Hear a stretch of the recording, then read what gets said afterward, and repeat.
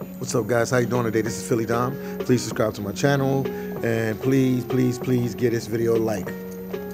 Today, I have three facts about El Salvador in 2019. Fact number one: El Salvador uses U.S. currency.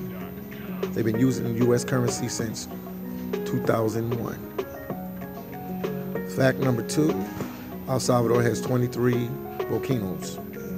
Out of the 23 volcanoes, I'm not sure how many are active.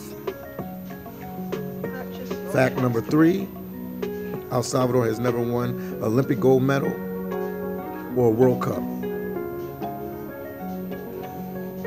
In my next couple videos or in the near future, I will keep doing videos about El Salvador to educate you on the country because it gets a negative name in the media.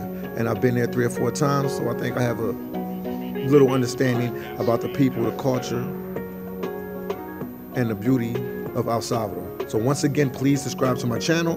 Please give this video a like, and I'll see you guys in the next video. Peace out. I salute you.